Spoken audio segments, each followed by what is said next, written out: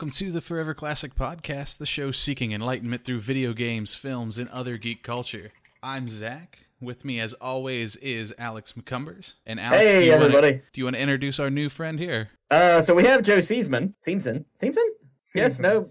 Seamson. Yeah, yeah, yeah. I always look at it and like parts of my brain rearranges it, and so it gets really confusing sometimes. Yeah, so we've got Joe. Y'all probably know Joe from the Kingdom Hearts episode. Yep, that's they all know me.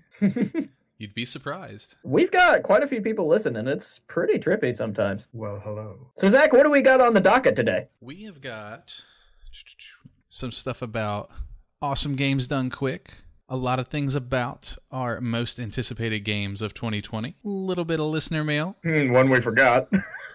Yeah, maybe. And uh, we're gonna just go over some new stuff here with Joe and the Forever Classic website and what we're doing with that together, as well as you know end up where we usually do, talking about the stuff that we're doing right now. I guess we'll go ahead and make that announcement now, then, man. So, for the longest time, me and Zach have always kind of kept Forever Classic games really close to our chests. We've had a bunch of friends come to us a time or two asking to either be a part of the site or work on some stuff involving with board games, you know, whatever. And we really wanted to kind of distill what we were doing before we added anybody else. Most importantly, we wanted to wait till we can pay people. Well, I was actually approached by our friend Joe here, and he's kind of looking for some ways to be more creative in his day to day life. And so he really wanted to jump on and join Forever Classic Games and offer some of his video and visual skills. So, Joe, if you would, please introduce yourself to our listeners and viewers. Hello, I am uh, Joe Siemsen. I have a background in video and animation work where I do a lot of mo- uh, video editing and motion graphics is primarily what I do. And along with that, since it is a passion of mine, I'm always working on personal projects and things like that. And one of those is a YouTube series that I created called Daddy Gamer, a gaming review channel where we take a look at video games through the lens of being a father, but it's also a lot of just like silly skits and jokes that I do with my daughter, who is my co-host. And so the video games themselves are more of a launching pad for jokes and silly bits that we do, but I do take some time every episode to look at that game from the perspective how did being a dad directly impact my mm. experience. And so that's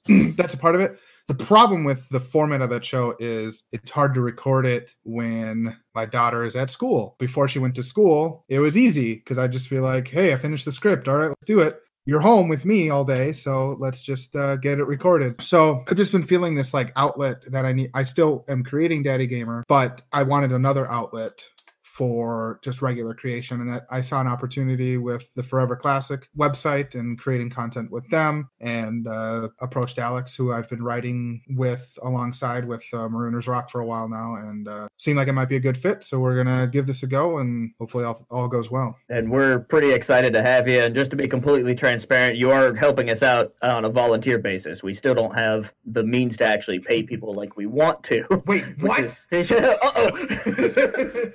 Cat's out of the bag. Shut her down. but no, No, we're, so you, you are helping really us out based on you. what you want to do, and you're kind of just given free reign, really. I mean, we're we've got some areas we want to focus on. You know, some uh, retro-inspired games in particular. A lot of different projects coming up this month, but for the most part, you're just here helping us out and stretching your legs creatively, and we're excited for that future. hmm We hope it's everything that you're looking forward to, man. Yeah, I hope I hope it is. Um, I've been really inspired by and influenced by some YouTubers that I've been really excited about lately, and I'm like, man, it'd be great to create content like them, but I just don't have the outlet. I'd have to create a whole new channel and like start from scratch with all those things. I also am looking for an opportunity to work more collaborative in a more collaborative environment, and I think that this is a really great avenue for that.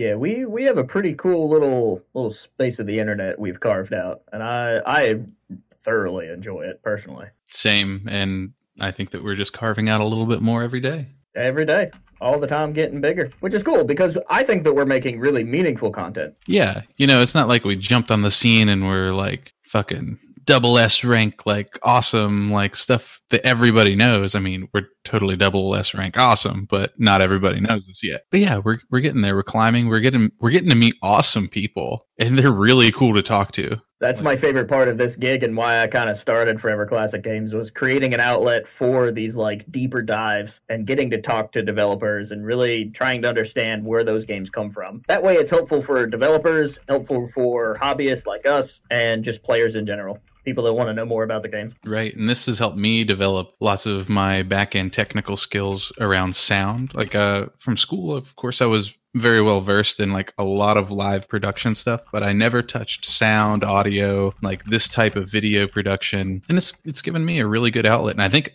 since we started, I've gotten significantly better at it. Our sound has improved like dozens fold from both of us working on it from either side. Yeah, and we're using the same tools that I used in radio. So like I learned the foundation there and now I'm just learning how to like fine tune a bunch of stuff. And then Joe, you'll probably learn some audio stuff too. Well, as a part of my background, audio is already pretty important with video. Yeah, so you've probably got a pretty good foundation in that too. So Zach, let's go right into the news, man. There's been some pretty cool things happening this week in the past couple weeks, and a lot of these top stories are things that have been kind of stewing for a while, except for this big one. So Awesome Games Done Quick just wrapped up as we're recording this the night before, and they have successfully raised over 3.1 million dollars for Prevent Cancer Foundation, and it was a heck of a finale. I got to watch most of it. I didn't get to see closing ceremonies, but I saw the Mario Maker race and I saw a lot of the Metroid stuff. Yeah, I basically watched the last half day straight and it was all just there was a um a link to the past a legend of zelda randomizer Yeah. that was really spectacular because they added the crowd control so people Mm-hmm. could donate bits to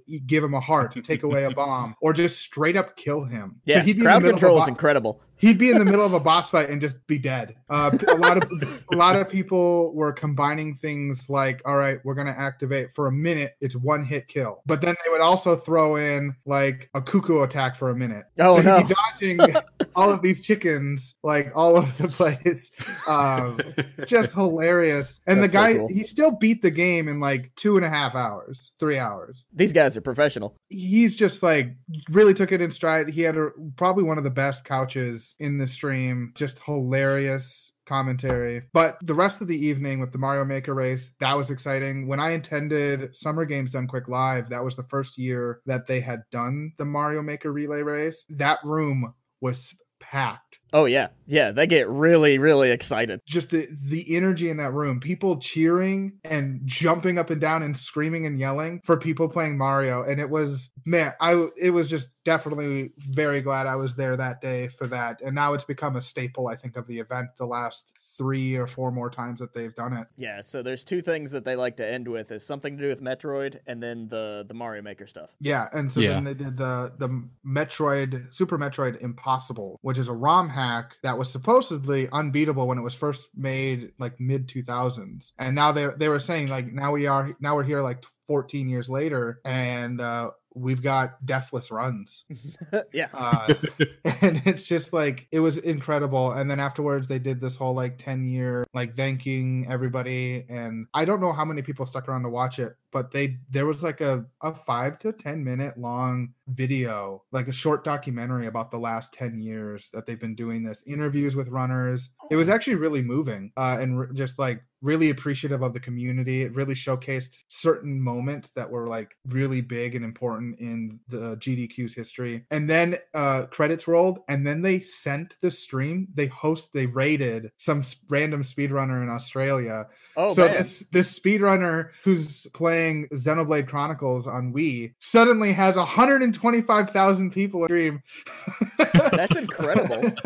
and they handled it really well. They were like, "Oh, hey guys, thanks for joining. Thanks for the raid." And they were they were just like answering questions and just excited. Like they they didn't like there wasn't a pop off. Oh. yeah. So it's just pretty. It was, but it was just fun to see that immediate. Their first response to ending the event was to like support someone in the speedrunning community. That's awesome. That's That- fantastic. That's what's really great about Twitch, right? Is every time you have like a good show, you try to pass that on to the next person. And so uh, I, I like that Games Done Quick themselves are doing that. That's really, really cool. Yeah, and a positive side of rating. Very good. The other thing that I saw was I watched the Amid Evil speedrun. I only got to watch a couple runs this year, and that was one of them. Amid Evil was fantastic. Definitely check out that particular run on YouTube. It had Dave Oshry, who was on the show before, and the New Blood Interactive devs, and they were in the chat just like being amazed at stuff. it was really funny. They're like, uh, now we're gonna skip a boss. And David be like, What? How? Why?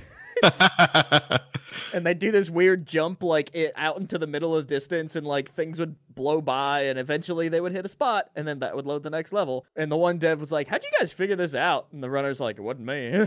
Somebody else and we did in the show notes leave a thread that somebody made on reddit which includes the agdq schedule as it happened with links to each individual vod so that's in the show notes. Go check that out if you want to watch a particular run and maybe like a block or something. Highlights for me was uh, someone ran the entire Fallout anthology. Oh yeah, you were telling me about that one and that one was really cool. The guy did a really phenomenal job explaining some of the like the various glitches and stuff that they utilize to the point that he even brought like a diagram made out of cups and cardboard. Oh, cool. That showcase like a level. And then he had like a little like stick figure person, popsicle stick figure. And he's like, all right, this is you and you're here and we need to do this. And then it makes you go like this. And he's doing this during a cut scene in the game that's unskip you can't skip. So he's like, uh, okay. he's, got, he's like, I've got 45 seconds to explain how this glitch works to you. So he had like props and stuff. At one point, he's explaining a glitch about how like, all right, we need to in order to beat this the fastest time, we need to increase our speed by like 800%. The best way to do that is to put on eight pairs of pants. So we need to duplicate our inventory and our ability to equip pants. And so he made someone on the couch put on a pair of pants every time his character put on a pair of pants. That's incredible. That's really fun. Yeah, they also did a Legend of Zelda 1, 2 and 3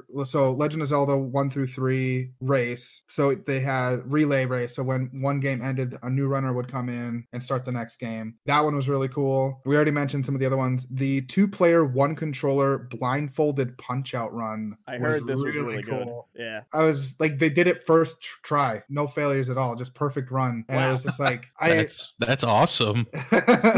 so if you're interested in this sort of thing, definitely go and like subscribe to the YouTube channel for Games Done Quick. All of these get uploaded as individual runs that you can check out later. Really quickly too. It's like almost immediately after they happen. Right. It's it's pretty. They're on top of it. I, I, don't remember which YouTuber is helping them out with that. It was either Summoning Salt or OmniGamer. I don't remember. I have no idea. Either way, Summoning no Salt has some great like documentary sort of breakdowns about like the progression of a particular world record. Those are really interesting too. I definitely recommend those. Huh. Other news? Are we? Uh, I assume that. Keep uh, going. Yeah, let's go down the yeah. rundown. The Pokemon Direct this week. Yeah, I watched it personally. Was uh, some of the bigger news. My initial reaction is I'm excited about the content. I am not excited about the price point. Oh. Think of it this way. Let me pitch this to you. Okay, so all of that extra stuff, right? Usually in an additional third version of the game. Now you're paying half as much for it, and you're getting it added to your current adventure without having to start over. Is it half as much when the base game costs twenty dollars, at least twenty dollars more than previous games? Mm. Mm, you do have a point there. They used to be forty bucks. Yep, and yeah, now they're, they're, they're starting to balance out.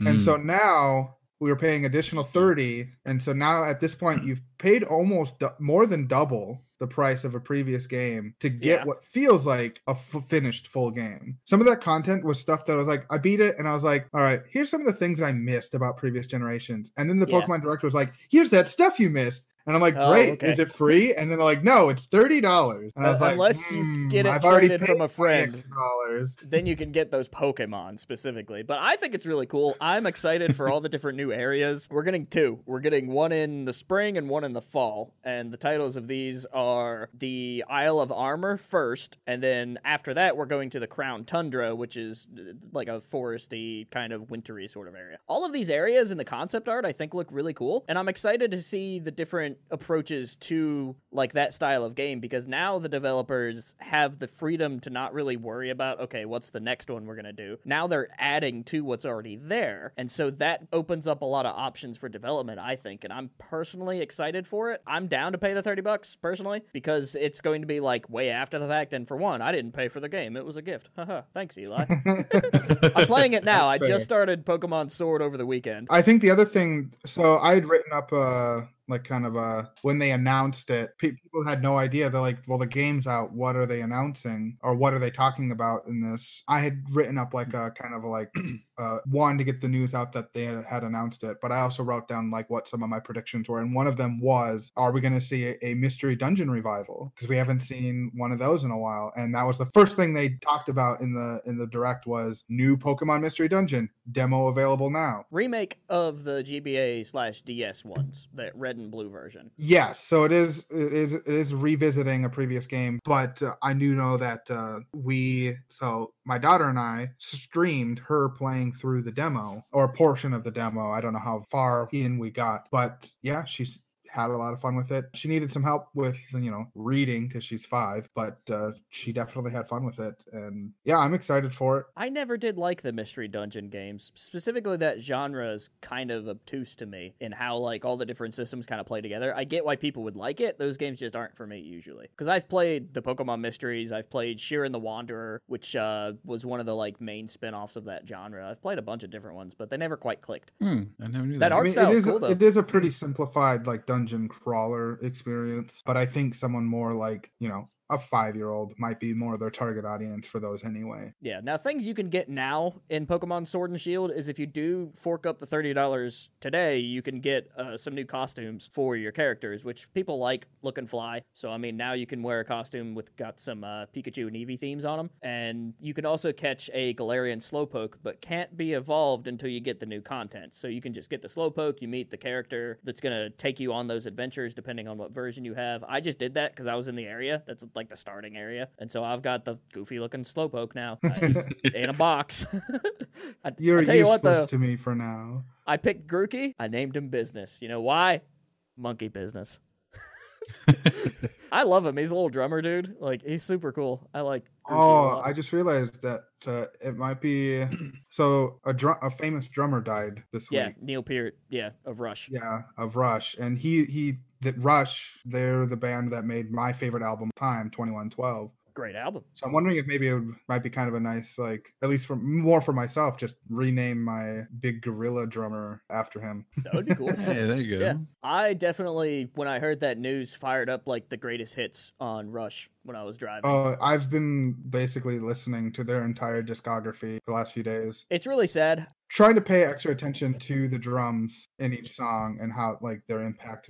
They're just overall, they're all just very talented musicians. And one thing I loved about them is they never stopped creating. They always had this drive to keep writing new music. So Yeah, I really enjoyed from a drumming perspective listening to Dream Theater and Rush kind of back to back because both of those drummers are so technical and they always find either a new type of drum or a new thing to hit, which just created more options in the tracks altogether. So you had this wide variety of like sound options from a drummer's perspective, and they kind of utilized like everything. True. One of the things I was really interested with the uh, Pokemon DLC was I've been expecting it to come at some point, hmm whether it was this game, the last game, even the games before it, granted, but they didn't really have a way to. Is they're just really slow to add on things that are like commonplace. Yeah, So like DLC has been commonplace for everybody, and the fact that they've added it now, like so late in the game, makes it exciting. yeah, it's cool to see Nintendo actually doing things that everybody else has been doing for 15 years. Kudos to them.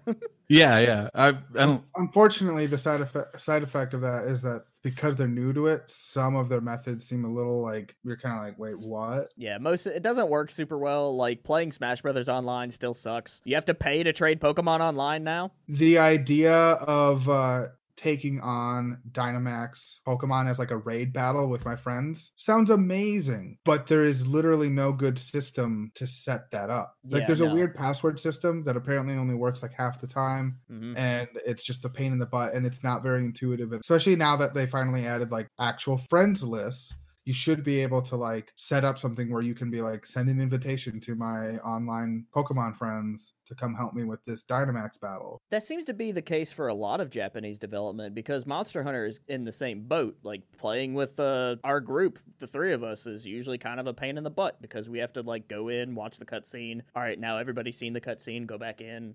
yeah i feel like that's just a monster hunter thing but actually getting together a lot easier than it used to be oh yeah, yeah, it's way better now than it was. Oh yeah.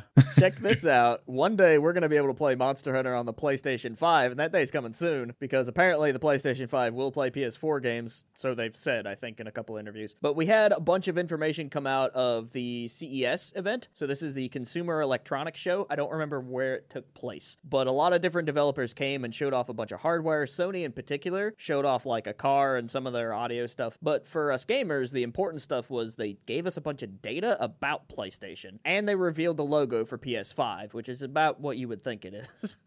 it's very, very simple. So one thing I've been noticing is particularly on Reddit. Reddit took that new logo and just had a field day with it because oh, they're Oh, yeah. like, oh ho ho, like how intuitive of them. They like they did this. And someone created like a graphic where it shows them grabbing the S from place like the PS part and then flipping it and turning it into a five and then like making a slight adjustment. And they're like, this is how they created the logo. And like it's like making fun of it. But literally in the comments, every single graphic designer was like, but that's that's how fonts work.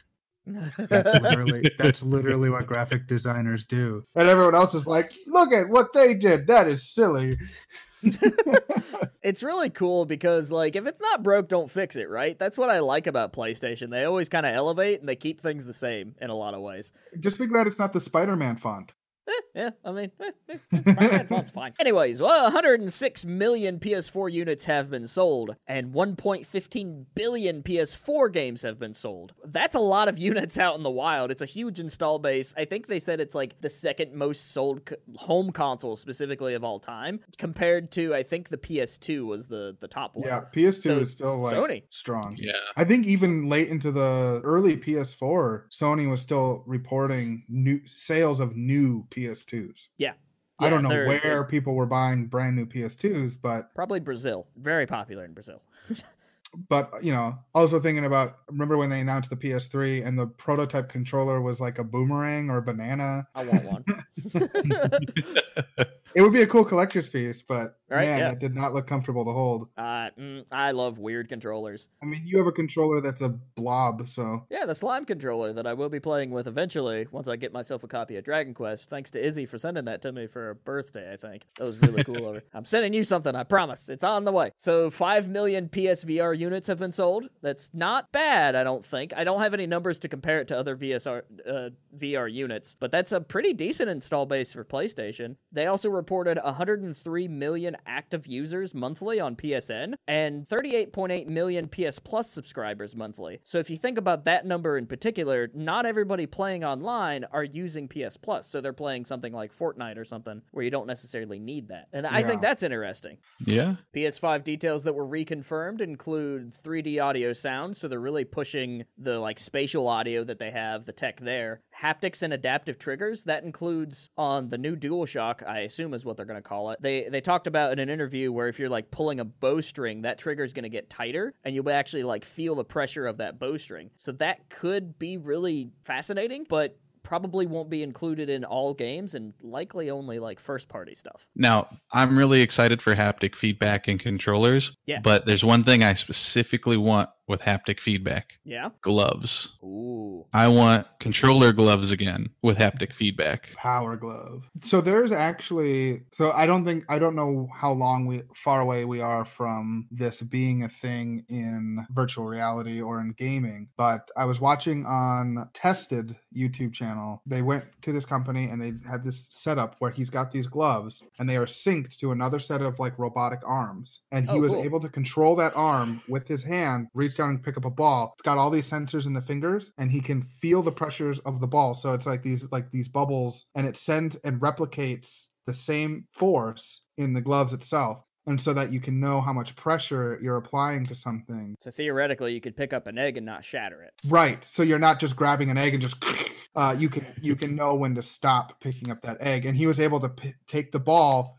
and toss it from one hand into the other. And they're working on this technology to the point that the goal is if you need a life-saving surgery and the only surgeon that's available is on the other side of the planet, they could use Oh. this setup to perform that life-saving surgery because there there's still a lot of things and like analytical and in the moment things and decisions that need to be made that you know robots and lenses aren't able to quite pick up yet you know judgment calls and things like that about a person's will to live and all of those things are just too many variables to like code into a software so if we can give use what we can to give that control over to someone actual, but from the other side of the planet because they they they've been they were testing it. The physical hardware was in Los Angeles, Right. and the the gloves were in the UK. oh, cool. And the response time was actually like almost exact, like perfect. That's really neat. The other area that I think that would be super handy in is things like bomb defusal, Yeah, Yep, that'd they, be they- they, they specifically talked about that too. which they're already using something similar, but something that's like way intuitive that you can actually feel things. Like that would increase the success. It's just rate. like a rack with these arms hanging from it. Yeah, it'd be perfect. Put a bunch of like armor plating on that thing, and there's a lot of cool things that you could do with that technology. And uh, VR gloves do kind of exist, and specifically in the realm of VR for something similar, I do believe it's available now. The Oculus Quest has the uh, the hand tracking software built into it now, so you don't necessarily need a controller in some situations where you're just using like pickups, throws and that type of thing. And I'm pretty certain that's available now. If not for Oculus Quest, then for Oculus and the other brands of those headsets. I think the Rift S is. I wonder other if it would be made better if you got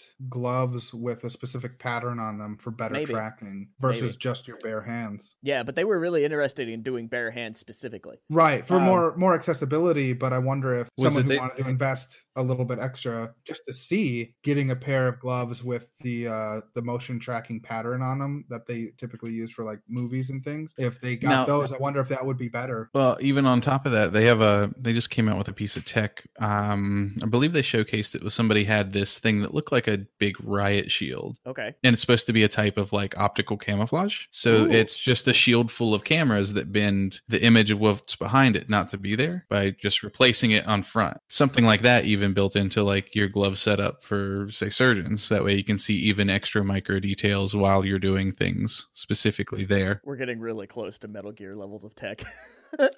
Oh, we're there. It's just nobody's actually executing. The government yet. has them already. We just don't know about. oh, I'm sure. PS5 details, though, kids. The other thing that is something that you can do now, if you wanted to, you can rip out your uh, hard drive and put in a solid state drive, and it will actually make your PlayStation run better. A lot of Monster Hunter players do this to reduce the amount of load times and increase your performance overall. But they they are just having an ultra high high speed SSD built into the PS4. We're also getting hardware based ray tracing. That'll be really cool. I've seen some ray tracing tech utilized in things like Quake 2, which is really cool. And then I've seen it in games like Battlefield on these super nice laptops that Razer had. right. And so ray tracing is like this super advanced lighting thing, and it just makes games more detailed in lighting specifically, I think. I don't know exactly what you can utilize with it, but lighting seems to be the main area that people are playing around in. Yeah, lighting in uh it helps with a bunch of the other information uh transfer too. Oh, for things like hit scan too it would work probably. Yes. And um oh what was it? I believe it was because I play a lot of Fortnite. And one of the things I believe when I was playing hot and heavy was that when one of the John Wick events came out, they had a ray tracing scene that they did with things that they released for everybody in hopes I believe that they want to include ray tracing into Fortnite when it's commonplace available for everything. So this is pretty PS5. exciting. It's coming. The the big selling point I think that's going to actually sell a lot of units because PlayStation has always kind of been at the forefront of the the idea of having it be your main living room entertainment. They are including Ultra HD Blu-ray players in this thing. So now you can take your your really high quality movies, watch them in your living room on your PlayStation, probably at a price that's really competitive to an Ultra HD Blu-ray player. So most people that are like, I want a new way to watch movies, they're going to look to the PlayStation. Well, now you've got the PlayStation, play the new God of War. Right. Well, they're going- releasing a TV along with everything here too. I believe that's going to be capable of graphics up to 8K, Nice. but it'll be able to do 8K, 4K, whatever you want, I believe, downward. But I, I take that personally as a kind of hint, like probably going to be able to go up to an 8K graphic if they're going to release a TV alongside it coming out. Yeah, they're future proofing a lot of things. Smart. Do you know it's going to look damn pretty on that thing? What's that? Final Fantasy VII.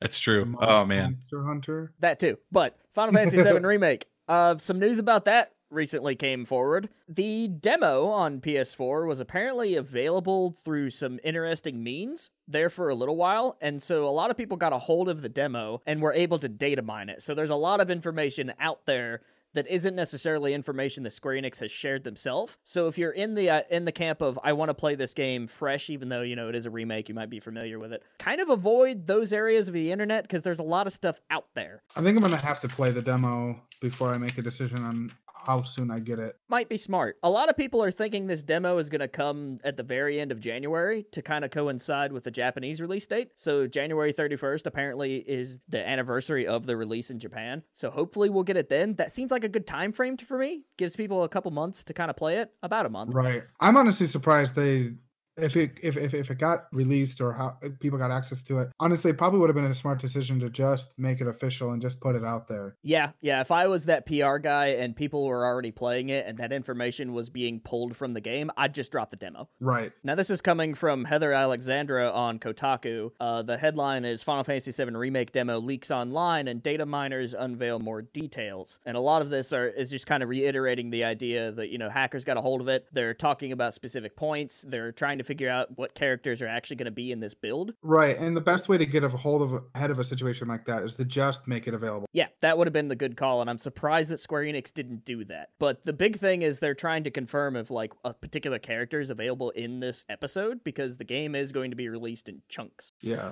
Right. i wonder if maybe there was something there like something with the demo that makes it not ready yet Maybe. it's possible that they're creating a build of the game that literally is only the demo rather than they just blocked off certain portions. They don't want to accidentally release a version of the demo that like oh an hour in it's over but it is literally the full game with a timer on it and if someone can figure out how to disable the timer they literally just got the whole game I hope to see what they do with Dragon Quest, where they are have access to the demo and your levels and stuff carry over. That would be really handy, I think, yeah that's true or at least your progress. Like let you play the beginning Mako reactor stuff or something, and maybe like an area where you can run around freely. That'd be nice. Somebody farms to max level in fucking Shinra with level one soldiers Somebody before will. the game's even released. Somebody will. a friend of mine when they released the demo for i think it was bravely second he maxed out his city because there's like a city builder built into the game. He completely maxed that out. So when he started the game he had like all of these end game items because he just had fun playing like the city builder portion of the game that was included with the demo up to its max and all that stuff carried over Now, part of me wants to play the game as intended, so if it's something like that, I'll probably just restart, but eh, either way. That game is on our anticipated games list for me in particular, because I got to play it. Well, I'm also curious if eventually, with the Final Fantasy VII being episodic, like how long are we waiting between episodes? And is it worth just waiting for a complete edition? That, mm, we'll see. I don't. I, I'm gonna have to guess with their episodics that at least have to be seasonal, Oh, yeah, like yeah, at yeah. the very least, because that's spacing out, you know, a solo playing game for a long distance there. But that would make the most sense, unless they run into problems. They're giving themselves like an extra buffer room to be like, you know, the next episode's delayed for you know fixing a problem. Right. I don't think we're going to see another Final Fantasy episode in the 7 universe specifically, at least until a year after this one comes out, personally, is what I'm thinking. Because they're trying to expand so much to the areas that were available in the original game that it's just going to be too large of a project to release annually even maybe. So i think that annually is going to be kind of pushing it but that's kind of where i expect and hope to see it. I don't think we're going to get episode one three months later episode two. I don't think that's happening. The challenge they have is they need to add content to a game that needs to stay as people remembered it. yeah. They can't change an area. They can add stuff to an area,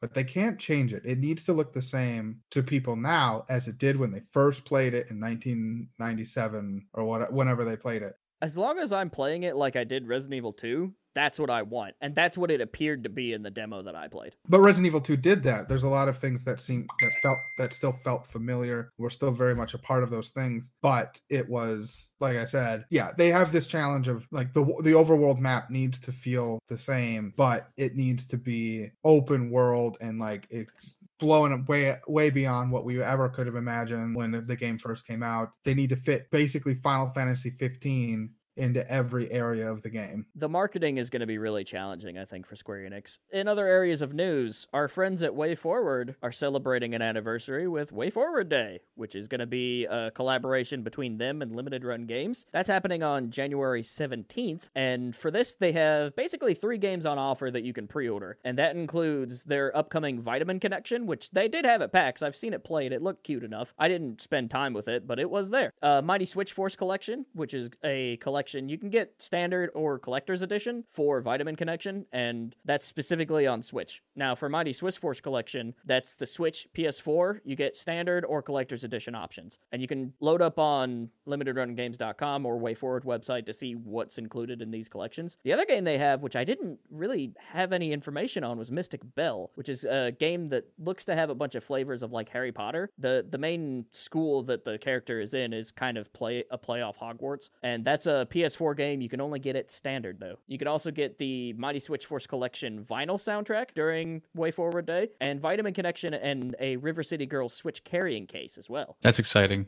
I'm I'm really excited for anything around River City Girls after we've got to spend time with it and have the interview with them. Oh, it was really fun. I love Way Forward. They don't put out a bad product. Almost every game they play is at least good enough. Now, Zach, this is one that I'm not going to be able to touch probably until we get some sort of cross save because I have so much time invested in the PS4 version. But our favorite game getting expanded on PC. Mm-hmm. Monster Hunter Iceborne is hitting PC, and it's you said available now. Yes, is available as of like last Friday or something. Last Yeah, Friday. I'm only a off. few days. I'm off by like a week or two. I thought it was closer to the end of the month. but no, that's exciting. And Monster Hunter looks super nice on play or PlayStation on PC over PlayStation. Yeah, I'm incredibly unmotivated to get the PC version because I'd have to start all over. And Exactly. I don't Same. want to. Same. Which is why I think that when they start syncing the content, which they said they're going to do, because right now it's staggered. Console players get their extra monsters and weapons and stuff a little earlier than PC players. And once that schedule syncs, I think that's when we're going to get crossplay, cross save. I hope so because it would be fantastic. And it's not like they can't do a crossplay because they did Wii U to DS or No, they- 3DS, and and that's how we played Monster Hunter 3. That's how I got really really into Monster Hunter. That's where I got good at Monster Hunter. Uh, well, at least for sure, cross save, being able to finish like saving your character on PlayStation 4, hitting the sync button, hitting download or sync on your PC, and because even if cross, like I understand cross play being difficult, especially with mods being available on PC, but yeah, I think that cross save is should be definitely doable. Yeah, cross progression, cross save should be easily done. It, everybody's able to pull out something like that. I mean, even now with Destiny being so big, you can completely cross progress the game from console to PC. Which and is that's nice. A large amount of things to do in different places. Yeah. Yeah. Now, specific features for the PC version kind of revolve around graphics. So we get the the high res texture pack that you can download. I think I've downloaded that for the base game actually. You get a lot of graphic options. Of course, with any PC version, DirectX 12 support, optimizations for Fidelity FX CAS, and upscaling. I'm not familiar with what those last two are, but it's there. And revamped mouse and keyboard controls for anybody that wants to play with keyboard and mouse. I, I maybe if I was doing bow gunning, that's where I would hang out. But like, I, I would just hook up the PS4 controller to it. Yeah, it's so easy. Yeah, Rajang will be available in February for those PC players. that's exciting. That's pretty quick for them. I haven't fought him yet in the PlayStation version. We should get back to that. Yeah, neither have I. I need to. We've we've had a lot of other things that we've like actually had to had to play. Yeah. I played Iceborne pretty heavily for about a month, and then I got swamped with uh, some content. I think I got like two books and a game, and then about the time I finished that game, uh, I got sent another game. So because it was like the Outer Worlds, and then immediately Red Dead Redemption Two on PC, and I was just like, oh, so many things. All of the things, none of the time. There's also a little item pack that they're giving out to PC players, which they usually do whenever an expansion drops. So it'll have like a bunch of potions and you know things to keep you going. There's also that like armor and weapon set that is super good for the low level rank quests and high level rank quests to help you kind of like get through those quests a lot faster so you can get into Iceborne. So that's an option for Yeah. anybody that wants to go that route. Cheaters. We we went basically with cardboard swords. that was so fun. I learned my lesson from Tanner. I think I talked about this when we were doing our Monster Hunter talk on an episode before. Is that we played with Tanner for a really long time in like G rank of Monster Hunter 3, and dude was wearing like beginner high rank armor. Oh no. And that's, uh, you know, he honestly would be like partly his fault that we were failing quests, but then we didn't realize that he had no idea that we needed, he had already needed to hit a point where he needed to upgrade all of his stuff. And at that point, we were like, oh my God, he's, he's a true wizard. He's like not dying. He's staying alive for this long. He's within one hit all the time and he's still skirting out. It's, You we're give like, him good okay, armor so and he's gonna be good. yeah. And that's what happened. After that, oh, we started just take- like I, I rolling take a hit things. now. yeah. Yeah. No, it was fantastic. But yeah, no. So I mean, honestly, in Monster Hunter World, I haven't upgraded my stuff supremely because I'm really stingy with resources. Yeah, I've got a sick Brachydios sword that I like. Yeah, that's like fully upgraded. Does a shit ton of blast damage. I think I'm still using the Dragon King eye patch though. Yeah, well, I mean, it's not a bad, bad thing to have. In some obscure news, our friends at TinyBuild just put out an update for Streets of Rogue, and this comes out of our inbox. We do get the occasional press release from some folks. So Streets of Rogue is kind of like Nuclear Throne, and Deus Ex is how they explained it, with kind of a old school Grand Theft Auto feel, like the top down Grand Theft Auto games. Apparently, it's their highest rated release. People like it, and now you can make levels. Cool. There's also workshop support, so you can mod it. Oh, that's cool. Yeah, I love it when they add that. Adds a lot of like compatibility with the game, Yeah, like replayability, creating levels and things, sharing. gets people back in, Missions gets them and things like that. talking, share I mean, around. look at the popularity of Grand Theft Auto Online. Cool.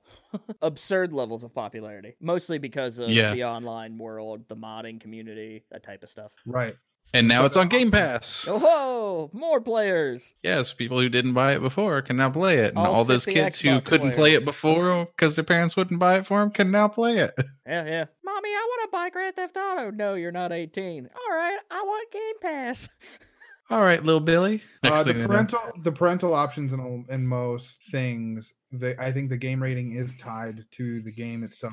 Oh yeah. So if you if you're a parent and set up, bother to set up the parental controls, you can lock them out of games. What parents actually do that? Still, most parents that are like supporting like their kids gaming don't know how to There's a use reason- computers half the time. There's a reason my credit card has not been ac- charged for four hundred dollars worth of video games because You mean four hundred dollars worth of. Fortnite skins? you need a you need a password in order to make a purchase on on pretty much any of my consoles and Yeah. If you She take the doesn't know time those to do it, parental support is really, really nice. it actually doesn't take any time at all. Nah, it's kind of usually. funny the number of parents that don't bother. I don't get know how many that I talk to are just they have no clue how to do it, and they're like, "Nah, it's too complicated. I'm not going to It's do it." And. I'm like, It- "Man, you literally just hit the button and it goes, all right, here's what it does. Here's how you do it. Yep. You And if- set your sensitivity. for yeah, for parental things, but for anything, I mean, just open up a YouTube video and it'll walk you through with pictures Yeah. how to do it. Moving But- pictures.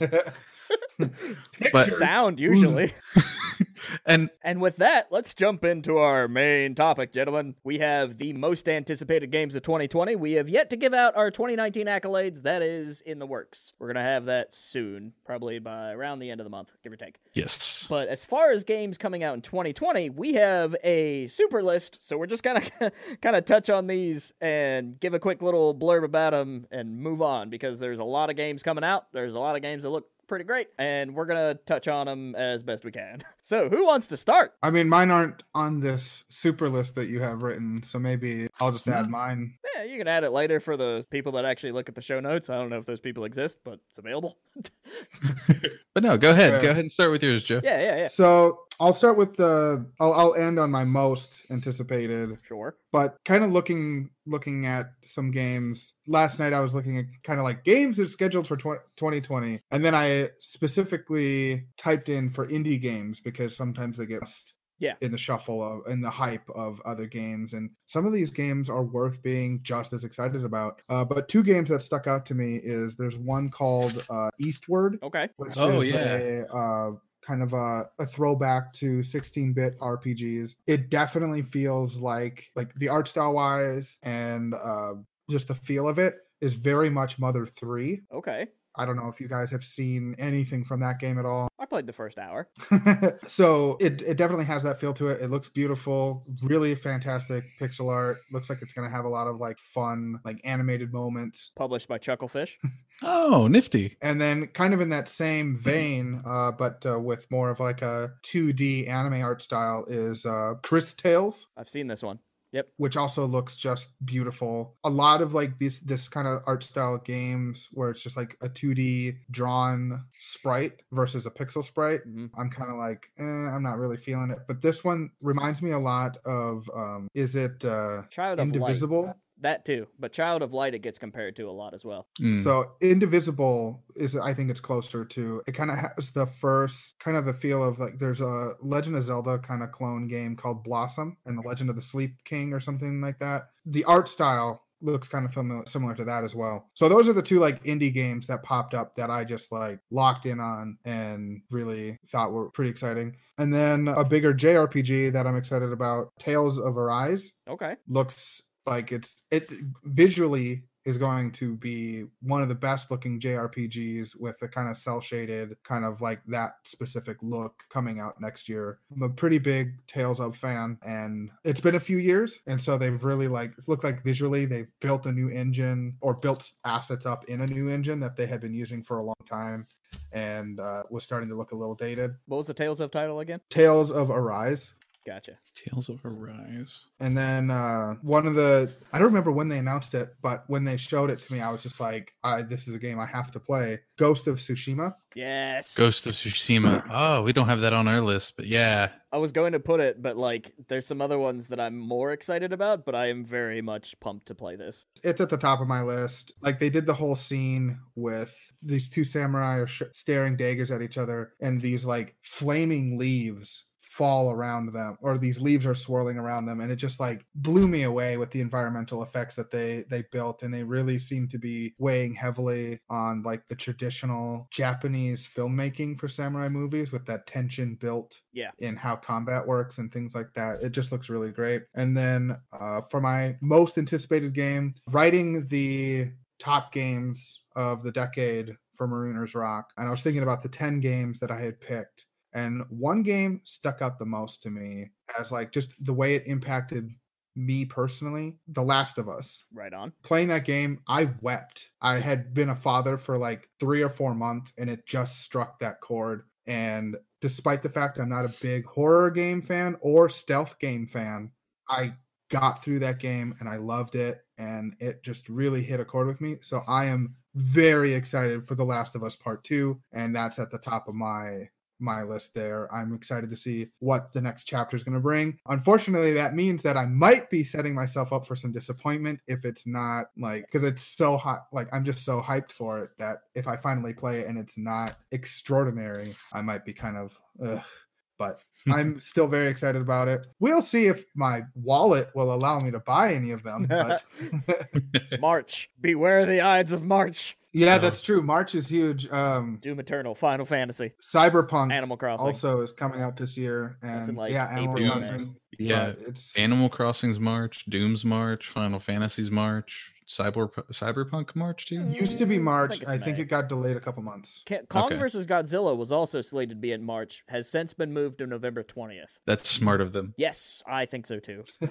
Yeah, so The Last of Us is, or Cyberpunk is hitting April 16th. Oh, that's Okay. two days after my birthday. Ooh. That's still real early coming right off of March too. Man, Mhm. there's everybody's gonna have a hard hitting into the summer season of it. I don't know what the end of the year is going to look like. It's going to be a lot of hype building for the new consoles, I think. Yeah, I think so. true. It's nifty that March has snuck up on us. You know, the last two years have been like March was interesting. March was pretty good again this year. Now this year it's gonna be like March is gonna be too fucking busy this year. Well, a couple years ago, they had the Switch and Breath of the Wild come out in March. And then another year, we had like Nier Automata. And I think Final Fantasy came out in March as well. Final Fantasy 15. A lot of my favorite, like, most anticipated games have been hitting in March. Hmm. I'm guessing there's like a financial reason. Get those sales in early for that quarter, I guess. Yeah, Yeah, they might be releasing because it was like a low earning quarter and they're just trying to raise the sales for that one. And for some reason, everything's spiking on the same or time. maybe March is a good projection for how the rest of the year is going to go. yeah, they can use those numbers to market how you for the can rest correct course maybe gives you time to maybe still hit hit those goals. That's Uh, true. And it but yeah, depends on their fiscal years. I mean, my my work, our fiscal year is October to October. So Mine's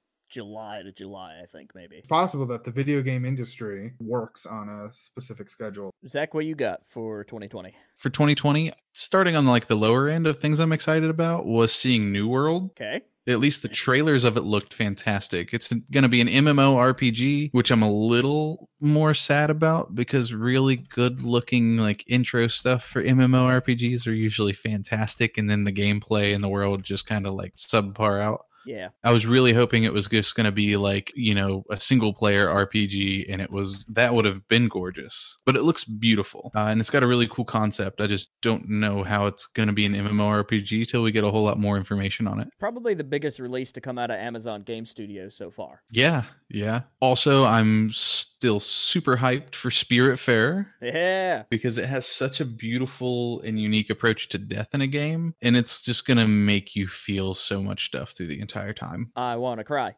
I want to cry. Yeah, you're going to cry sad and happy at the same time and be so confused, probably emotionally exhausted, but wanting to come back for more. I played it. I chatted with. Uh, that's the only interview I lost from PAX. I don't know why, but it corrupted and didn't work. That was a great conversation. Things look really, really good for it. I don't think the gameplay is gonna wow people, but I think the like the art style, the music, everything else is gonna really floor a bunch of players. Oh, absolutely. But uh top of my list is probably going to be Hollow Knight Silksong. Mm, yes. I got so so drawn into Hollow Knight, and that's my first ten of ten game. Period. I can't argue with it too much. There's some hard parts. It's just good. Uh, it's good. It's solid. I I can't argue against it very much. Um, well, it looks like based on your notes, they're taking a bit of a shovel knight kind of approach originally. with how they took their yes. they took their antagonist and made them their own campaigns. yeah. If it's starring an antagonist from Hollow Knight, they're kind of like, all right, this has worked hmm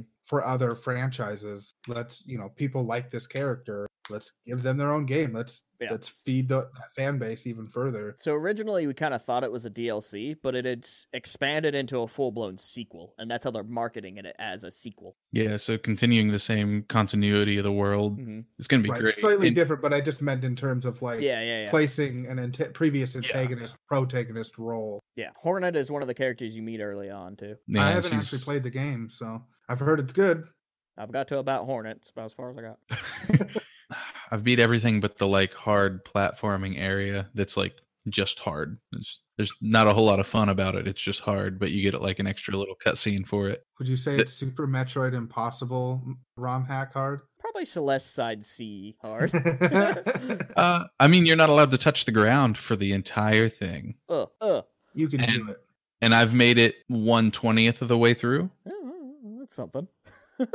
Yeah, yeah. But you're like climbing, falling. You got to hit these like bugs that are flying in the air. That when you hit them, they split, and then you can't hit it again. So you can't come back and just bounce yourself and spot. You have to get it in one fluid motion, Hmm. which is why I can't do it because I'm not that platformer yet. Sounds like that ROM hack that I think Glitchcad made called uh, Thumb Shredder. It's just repeated shell jumps forever in Mario. So I'm not usually a big platformer guy. Playing through the Shovel Knight games has really like upped my game in terms of platform ability and being able to read a screen because you have to in order to make progress in a lot of situations. Oh, definitely. I bought it for PlayStation early on when it came out, and we just Shovel got. Knight? Hmm And we just got stuff for the new Shovel Knight expansion. So I'm replaying. Oop, I hit my mic. replaying through it on um, Steam so that I can get the full experience again with everything, along with Alex. Yeah, I have beat all four campaigns at least the first time through. I haven't been able to do that yet, but what I've played so far and what I've seen so far, it, it doesn't seem to ever drop in quality. If you get a chance, Spectre Knight is the shortest one. I think I beat it in like four to five hours. It was like an evening. I mean, Awesome. so far what I've played, I mean, I think I'm I'm about I've played for about 25 hours, so I don't know. If maybe I just suck. I don't know. One of the best values in gaming. Super, super cool. But yeah, uh, and then of course for me, I just love the idea of Ghost of Tsushima. I really want to see more of it. Yeah. And I'm just just the little bits of teaser enough for me. I just keep getting. I keep forgetting about it because I'm not hearing enough I- about it. but I every don't want to time hear I too talk much. to someone about PlayStation games, Ghost of Tsushima. And uh, did you pick up the uh, the free dynamic PlayStation theme No, that they released? I don't really chase Mm-mm. themes much. Uh, I just I happened to see like a, a tweet about it, and you put in you basically put in a, a code or whatever, and it gave you the, this free theme or whatever, and it is basically the lone the main character standing in a silhouette in the distance holding a sword, and it's just golden leaves, Ooh, cool. like a forest scene all around them, and the leaves are blowing, and it's really cool. I don't know if it's still available. So Alex, what are yours? Well, I mean, things that are indie, since y'all are leading with indie, there's a couple little things that I want to touch on. Uh, Spiritfarer, I'm super looking forward to. I can't wait to play that. Axiom Verge is getting a sequel, and it's also being solo developed entirely by the one guy, Tom Happ. So music, game design, pretty much everything aside from some of the marketing and like just getting people to play it. That's all one dude. And so Axiom Verge 2 looks really, really cool. The benefit at this point for a sequel is that a lot of the assets he already had, for like in terms of like sprites and graphics and things like that. So if he's using like a builder, he's not having to rewrite code unless he's adding functionality or improving something. So he's not he's probably not building it from scratch, is my guess. Well, now graphics, it's like a 16-bit approach rather than a like high-end 8-bit approach. It's a lot easier to um, program or use those assets these days, though, in a high bit. Yeah, kind of. Yeah. Regardless, it looks really, really cool. It looks less bleak than the original game. Like we're getting a lot of winter scenes in the in the previews, a lot of really cool monsters, really complex sprite work. So I'm I'm stoked. I love Axiom Verge. It's one of my favorite games. I never finished it, but I, I thought it was really, really cool. Hollow Knight Silksong I'm up there for. Haven, that game that really made an impact on me at PAX West, I'm really looking forward to. Because it's kind of a persona style JRPG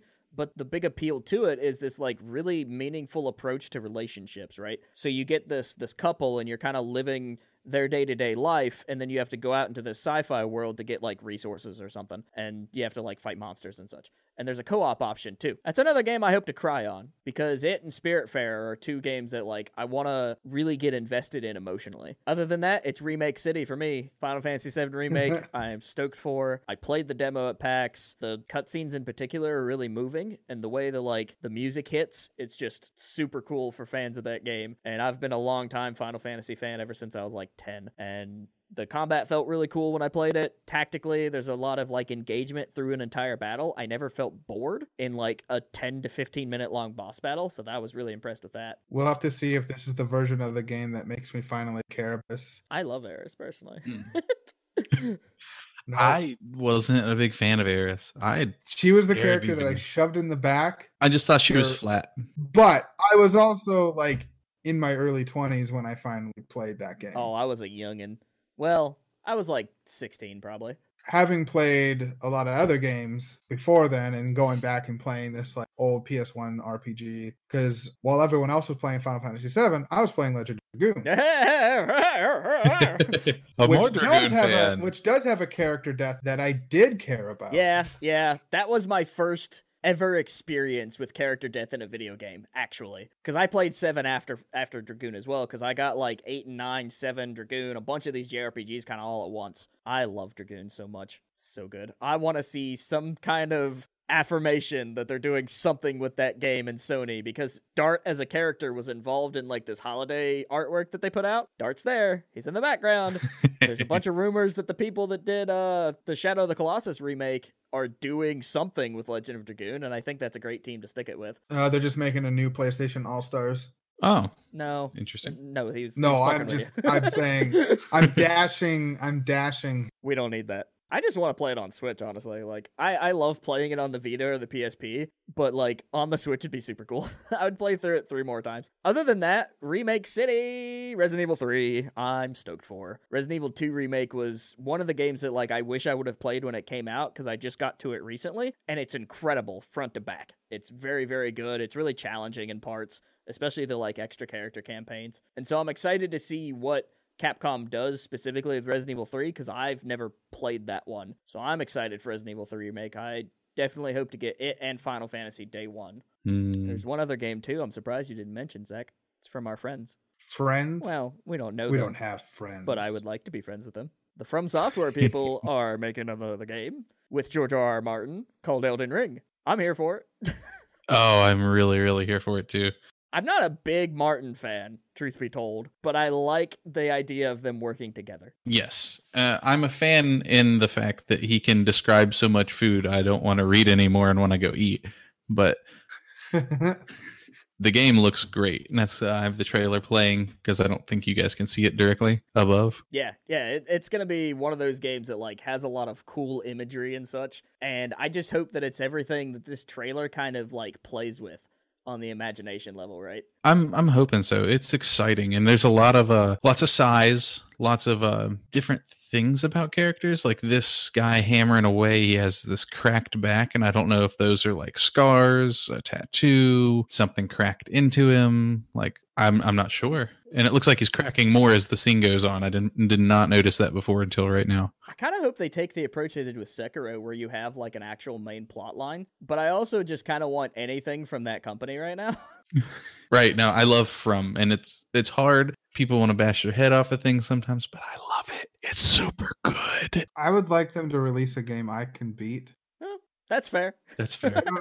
I don't have the patience for a lot of these I things. think taking the Jedi Fallen Order approach would be really, really cool. That would get a lot of players playing it. Granted, I think that like being in the mindset of being forced to play a particular way in a From Software game or like not being able to take the easy route, I also like that as a design statement. Yeah. Well, you know, then there's people who uh, speed run it in 28 minutes. Yeah, I mean, there's a lot of things you could do with those games, but I kind of would like to see that difficulty approach because I, I think it works really well in Fallen Order. And then the last game we have listed that nobody brought up was Cyberpunk. Cyberpunk looks kind of cool. I'm excited specifically to play it on PC, but I don't know if I'm going to get it day one. It looks cool, but it's not at the top of my like. It's not on my anticipated. Primarily because I'm not a, the biggest open world fan. Cyberpunk is as a like a setting isn't as engaging to me as like The Witcher was with a fantasy setting. I'm excited because there's not a lot of games I've played in Cyberpunk. So I'm I'm pumped to see how that goes. I'm interested in it to see how good the game's going to look in game. I don't want to see any more trailer stuff. I want to get in there, taste it, and be tangible with it. Uh, and I'm hoping that it does not.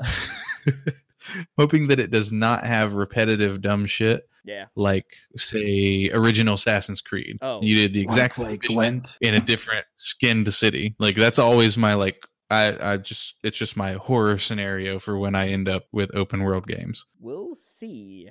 We'll see, we'll see. So that really kind of drives us to the end of our most anticipated games of 2020. There's plenty more that I think that we'll find excitement over over the coming months. But if you have a game that we should really pay attention to, please send us an email, hit us with a tweet or something, let us know about it in some way, shape, or form. You can also join our Discord too. Mhm. Or if you have a game, talk to us about it. Yeah, if you're a So that we can developer or talk to you something, get it. in touch with us because we love doing that sort of thing. Let's move on to some listener and reader uh, statements, suggestions, and just some straight up emails that I forgot to read that came in in November back when this game was announced. So I guess we'll start there. John, no, Justin from the Here's Johnny podcast, the really excellent horror podcast that covers games and films, and they're my favorite like horror related thing to listen to aside from something that's actually a narrative. And so Justin was like, "Hey guys, it's me, Justin." From the Here's Johnny podcast. Wanted to know what your all's thoughts was on Half-Life Alyx, that new VR project. And personally, I think that they are using this to get Half-Life back into the minds of gamers. And we just might see the fabled Half-Life 3.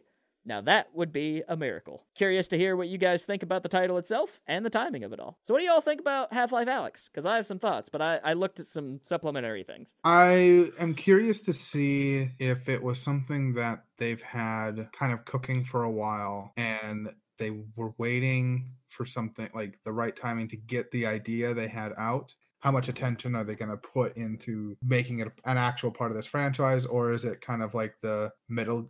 Was it Metal Gear Rising? Oh, like a spin-off kind of thing? Yeah. Right, where it's just like, all right, we have this idea for a game, but we're not exactly sure about the idea, and th- slap on some like Metal Gear aesthetic and make it to s- try and sell this game. Which I've heard overall, there's a you know, it's kind of split, but a lot of people did like it still, and so it worked out for them. But it was vastly different, like in terms of feel and overall like aesthetic. Yeah, that was a platinum design game, so it plays like a Bayonetta or something. Right. Yeah, it was specifically not tactical espionage action. It was I can't remember. It had a different subtitle.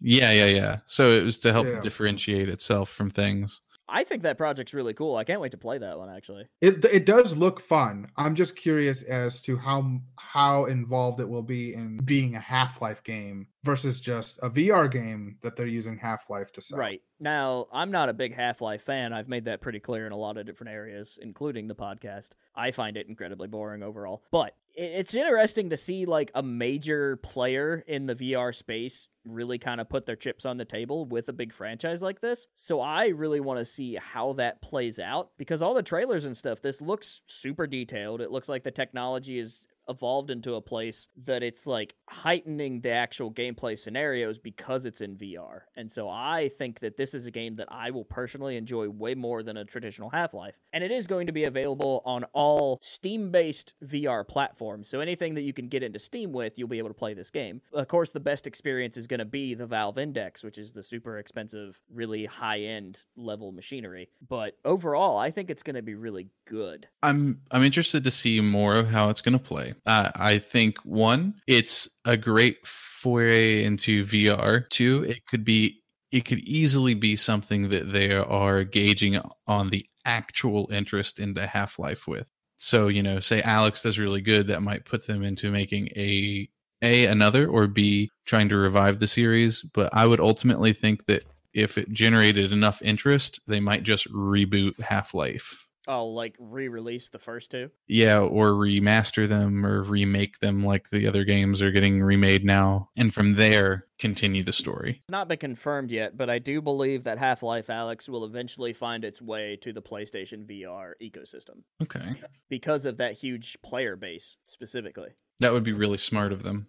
I don't think it's going to be even within the year that it comes out. It might come out at the end of the year for PlayStation, or it might come out when PlayStation 5's VR system is available. Because they did confirm that like your old headset will work, and they're going to do a new version of the headset and probably some different controllers and that type of thing. The thing that's interesting when this trailer first dropped, there was a interview that Geoff Keighley of the Game Awards put out that was pretty in depth, like sitting down and talking to the developers about Half Life Alyx and kind of the the thought process that brought him to it. So I highly recommend chasing down that video. I I don't remember the exact title of it, but I'll find it eventually and put it in the show notes. But uh it's pretty cool because they're kind of afraid, it seems, of Half Life because there's that huge expectation, right? So this is kind of Valve getting back into a AAA space without having to really kind of like make that huge investment and make that that just like monumental leap to what they're doing currently. But they have been playing around with a lot of game design things apparently in like their lab so to speak, and it just kind of made sense for them to make their VR project all these different features that they wanted to hit into a Half-Life game. And they've even experimented with things like what would a Left 4 Dead look like in VR and that type of stuff.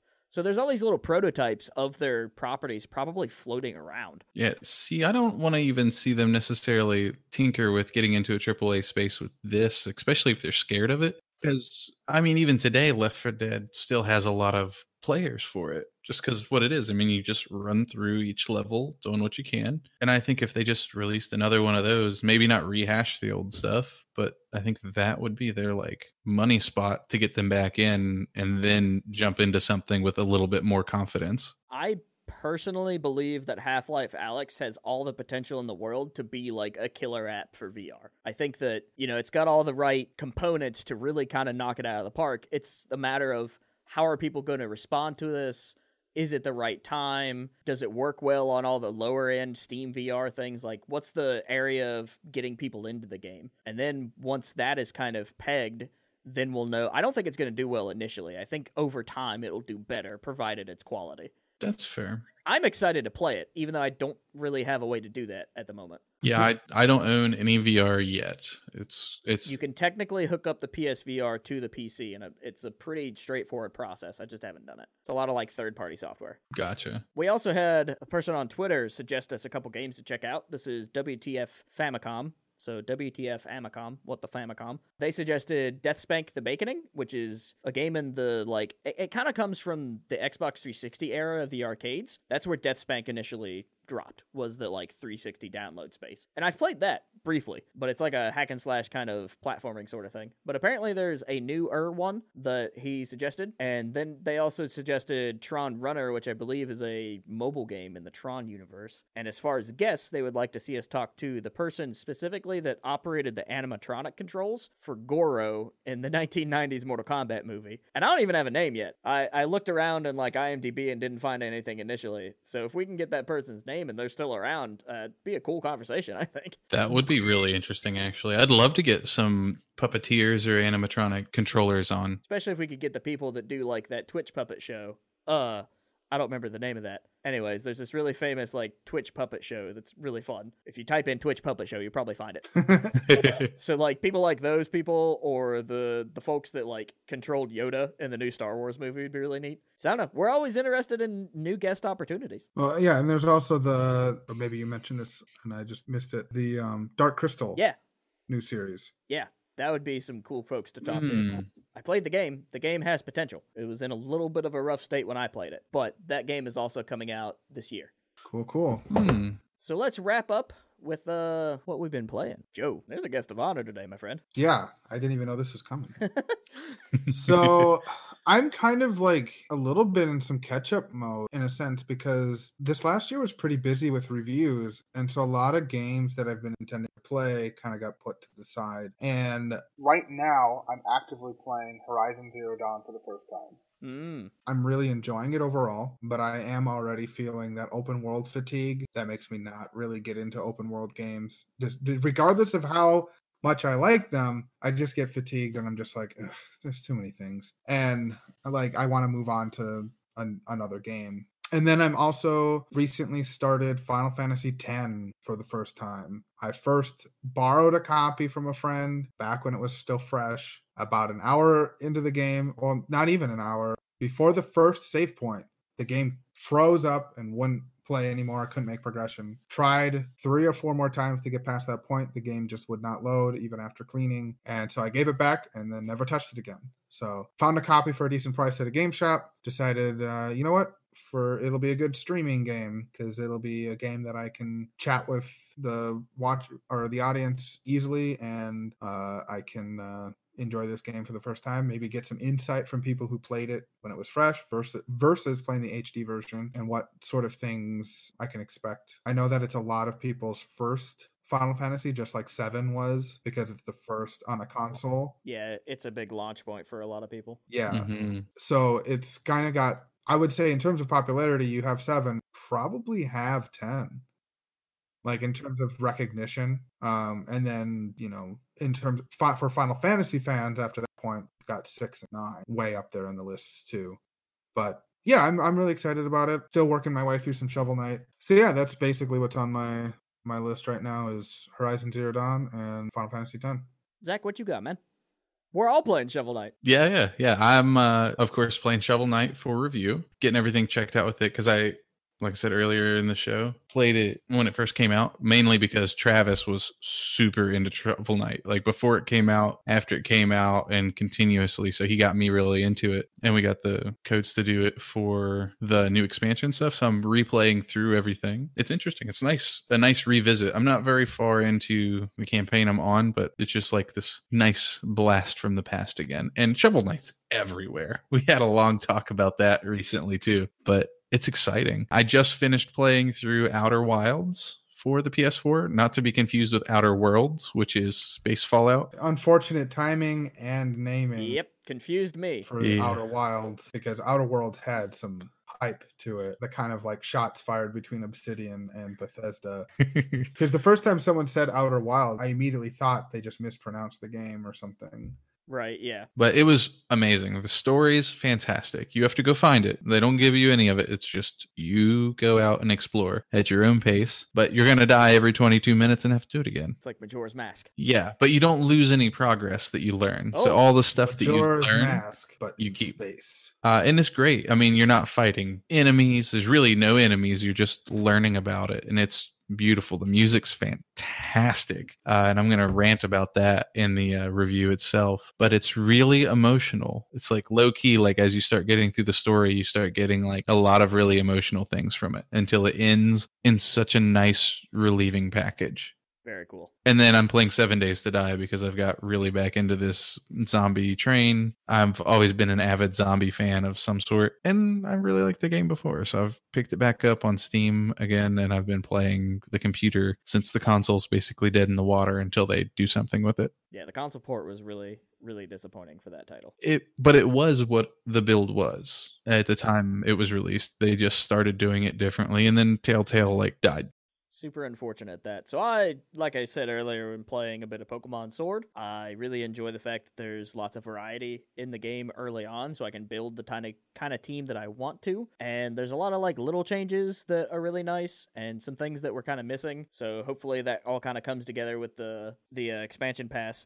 And the thing that I like the most about it is when you're do- in these like gym battles, the music that kicks in with like the the background vocalist reminds me so much of Splatoon 2 and ARMS that it's just really exciting. It's like a powerful like yeah kind of music. It's really cool. I like the gym track a lot. Yeah, it's true. They really upped the music game this generation. It's like I think a lot of people have like those classic tunes from like Red and Blue and Gold and Silver in terms of like oh those recognizable like little tunes. After that, there's like decently well made music, but nothing I really distinctly remember. But then, like with this game, I actively noticed, like, oh, this is a good track. It's a good one. I'm also playing System Shock 2 on Steam. I'm playing that for a appearance on the Here's Johnny podcast. It's combat's not the best. I think so far I prefer BioShock and like the way they streamline that type of gameplay, but like being in a kind of screwed situation on a like space station or whatever having to figure out all these little pieces and it's got a bit of a puzzle box element to the map. So like the actual exploration and stuff is pretty cool and there's a lot of different ways you can create your character. There's different abilities you get through psionics and like hacking and stuff but i made the dumb decision of building a soldier dude and it's not great because i basically just run around and awkwardly hit people with wrenches. There's a bunch of monkeys too. There's a lot more monkeys than i figured there would be in system shock. I don't like him monkeys monkeys. They're psychic.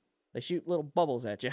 Evil space monkeys. And they have stock monkey noises. So it's just like it's bad. uh, the other thing that I'm playing on Steam is a game that we just got copies of. It's an early access game, but it's got a really cool idea. It's called Mass Builder, M A S S. And so this is a mech driven, customize your own mech, get out there, fight waves and waves of enemies, really fine tune what your mech looks like down to like the shape of parts parts and the weapons you use and things like that. So I, I like what they're establishing so far. And it reminds me just a touch of Dynasty Warriors because there's a large amount of enemies that you're kind of just like mowing through. And it, so far, it feels pretty good. I have a question for you on that then too, because uh, uh, again, I'm not super deep into it because I haven't loaded anything up on it because I'm finishing off what I have before I bite off into something else. Is the uh, I noticed as they were going through the parts, they all had a different weight. Does it affect you moving around? Uh, probably, but I don't know to what extent yet because I built like one mech design with the parts that I had, customized it real nice while watching AGDQ, and then used that to play a couple missions. So I imagine that either in the final version of the game or maybe it's just something that I haven't noticed yet, based on the type of mech you build frame wise and stuff, that it'll have varying effects on your movements and mechanics. Okay. Seems like yeah, they took the Mass Effect series in a weird direction. completely different. No, this is it's a really cool little game. Uh, we're excited to maybe get the devs on, but we will be doing some sort of preview content for this title because I'm in a mech mood. I've been watching a lot of Gundam anime. I watched Gundam Origin. I finished watching Gundam Double O, which I didn't like, but the mech designs are really cool. And then I started watching Gundam Age, which is a similar situation. In all three, except for Gundam Origin, which I watched in Japanese, the English dub is atrocious. it is bad and lifeless in Gundam Double O. Oh my god, horrible voice acting. Oh no, they're coming right for us. It's just like the most deadpan, doesn't make any sense sort of writing. Like it's really stupid. Um, another game. I just remembered another game that I'm actively playing through right now. Me and a friend love playing through co-op games together, and so we recently finished Resident Evil Six. So we're going back and playing Resident Evil 5 right now. And we're just having a grand old time. Just I mean, it's like nonsense. The game is ridiculous. it's a little weird going to five from six because the combat and the shooting in six is way more fluid and it's way more action based. And so going back to five, we're kind of like big toddlers, kind of like running around, like, uh but it's it's we're just having a great time from the get go. You have a couple of costumes. I'm playing Chris Redfield in some Mad Max outfit, and every time he shows up on screen, I'm just giggling, and we're just cracking jokes the whole time. And it, so if you're looking for a good game to just like sit down and play with a friend, cooperative, either on or couch co-op, definitely highly recommend Resident Evil Five. It was a good time when it first came out too. I got that game day one. I didn't get it day one, but me and my little brother played the absolute hell out Me of and it. Marshall killed it. Oh, mercenaries. We're playing the HD or the the PS4 version. Same with six. We played the PS4 version of those too, and Some of the DLC in five is really cool. yeah, just having fun with it. So, in your vein of kind of like games that are games from the past that we're kind of revisiting, I am getting a bit of a history lesson in this title that was just sent to us by NIS America called the Psikyo Shooting Stars Alpha Collection. I, I have it on Switch. I can't really say much about it. It's a collection of games that are mostly already available on the Switch marketplace. Like you can just pop in, download them for six bucks. But uh, the Psikyo shooting games, they're very interesting. It's a lot of bullet hell situations. There's some options and stuff that you can do to make it a little easier on yourself. But I'm having the best time in the world playing this with the flip grip, which allows me to play the game in a vertical position. And that's really cool because you get that original aspect ratio of a lot of those old arcade games. And I just think that playing with the flip grip in, in vertical mode is such a cool, like, novel thing that the Switch can do. And it's just a really exciting way to play a lot of these shooters. And I hope to not only play and review this one, which we'll have by Tuesday, I, I'm excited for the other collection that they're doing. And then I want to check out some other shooters that I can play on the Switch in that particular vertical style. And the flip grip was like 10 bucks or something. I, I got it really cheap. Oh. Hmm. All right. That's not a bad price for a Nintendo accessory. It was a third party made thing, so I think the folks that worked at uh, the Retronauts podcast might have even had something to do with it, if I'm not mistaken. Great show. Even better. Fellas, that just about does it for another rip roaring episode of the Forever Classic podcast. We got Joe now, which is super cool. Great to have him on. Yeah. We're excited to see what all cool things we can do. Speaking of Joe, if people wanted to find you on the internets, where might they do that? Probably the easiest would be Twitter, which is at the Daddy Gamer, or Twitch, twitch.tv slash daddygameryt, or YouTube, youtube.com slash daddygamerreviews. Excellent. Zach, where can people find your Of course, exquisite liar for about everything, all one word. And as always, I still haven't managed to get a hold of my one solid name on Twitter, so it's still exquisite underscore liar. I'm still pushing to get that. I should probably consider making a change on my Twitter to make it more like succinct or something. Because right now my Twitter is the number four ever classic one zero five. You can also find us on Discord, which I don't think we have a custom URL for, but it's always available in the show notes. And you can catch our streams on twitch.tv slash foreverclassic games, which may be where you're watching this live recording, which you can also join. Have a grand old time with us. Uh, Facebook, we do have a small little group there called the Forever Classic Hub, and you can always send us an email at the Forever Classic Podcast at gmail.com. And all of this is kind of living in one little space, foreverclassicgames.com. Check it out. There's, we have a Patreon too. You can chip us a couple bucks there if you feel so inclined. You can even get raw cuts of these episodes a little earlier than everybody else for like a $3 donation or something a month. Right. And we haven't given Patreon as much love as we've been wanting to, so we're working on revamping some of that. I just wanted to establish Patreon first. That way, at least it's there. And if we ever need it, then we have the option. Because eventually, we will have curated, advertised advertisement content here on the the podcast feeds. So the the main thing that Patreon is going to really benefit from is those ad free things. But a lot of the ads we're doing are going to be again curated, so it's not going to be you know the typical companies and stuff that people work with. Get your blue apron. Now let's talk about your Vitcha oh, games. Oh, MeUndies. I mean, granted, again, if they came to us and were like, "We'll pay you like twenty thousand dollars," I'd probably do it. But here's the thing: we Yeah, want to like highlight some some actual game companies, some projects, other podcasts that we like. So those are the type of things you're going to be seeing first and foremost. hmm I personally, though, would uh, have a if you just if MeUndies wanted to just give me some underwear, they could sponsor an episode of Daddy Gamer. One hundred percent, I'd be fine with that. The drawer's getting low. Yeah, I I'm throwing them away a, a pair a day at this point. I have questions, but that I don't want answers to. Thank you, everybody, for listening to Forever Classic Games.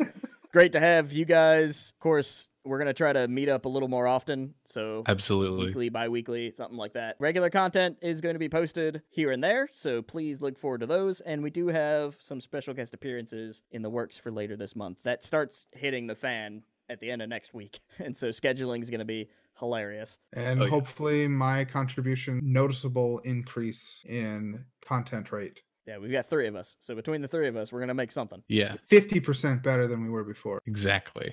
Precisely. So, again, thank you for listening to the Forever Classic podcast. As always, stay cool.